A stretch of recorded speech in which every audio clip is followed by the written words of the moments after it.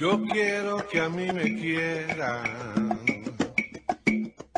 Yo quiero tener un nombre.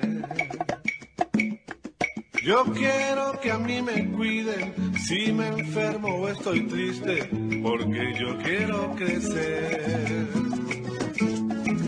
Nació mi nombre. En el pueblo sin nombre todos se conocían y mencionaban unos a otros, diciendo, vos, nena, chico, la chica que vive frente al semáforo. El pueblo fue creciendo, empezaron las confusiones cuando pusieron tres semáforos. Una vecina le comentó a otra. ¿Sabías que la chica que vive frente al semáforo? ¿Qué semáforo? El que está a la vuelta de la carnicería. ¿Qué carnicería? Estoy hablando de la chica que vive frente al semáforo que está a la vuelta de la carnicería de la que está enamorado el chico que vende pan. ¿Sabías que el chico de la panadería está enamorado de vos? No de vos, ¿De mí? no de ella. Las jóvenes salieron a recorrer las panaderías en busca de su enamorado. Los chicos de la panadería se peleaban por ser el elegido. El chico de panadería enamorado soy yo. No, soy yo. Los vecinos me han visto pasar por el semáforo. El que pasa siempre soy yo y deseo que esté en rojo mucho tiempo para ver salir a mi amada. El conflicto era tan grande que tuvieron que llamar al juez, que por suerte era uno solo. Fue una gran confusión. Llamemos al juez. Después de escuchar todos los comentarios, Es una cuestión imposible de resolver. Desde hoy dispongo que para evitar problemas llamemos a cada uno por su nombre. el juez, que era muy práctico, los puso a todos en fila y los identificó. Juana Semáforo, María Semáforo, Camila Semáforo, Pilar Semáforo, José Panadero, Pedro Panadero, Mario Panadero.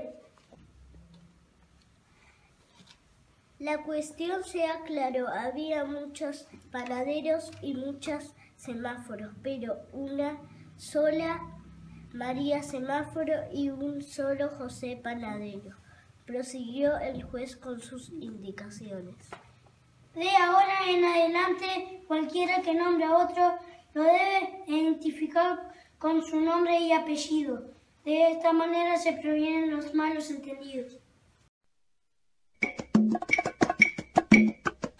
Yo quiero que a mí me quieran.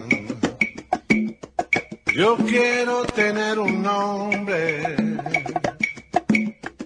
Yo quiero que a mí me cuiden si me enfermo o estoy triste, porque yo quiero crecer.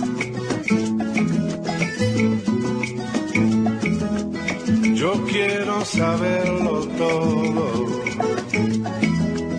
Yo quiero que a mí me enseñen.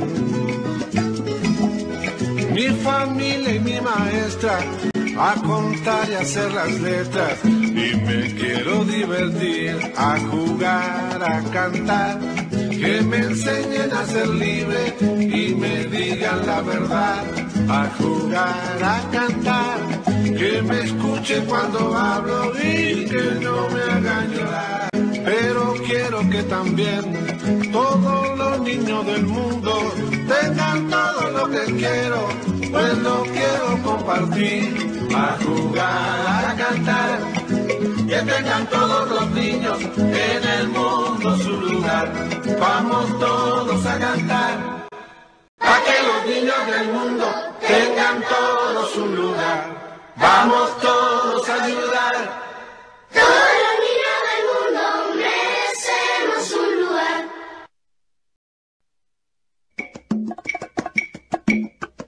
Yo quiero que a mí me quieran. Yo quiero tener un nombre.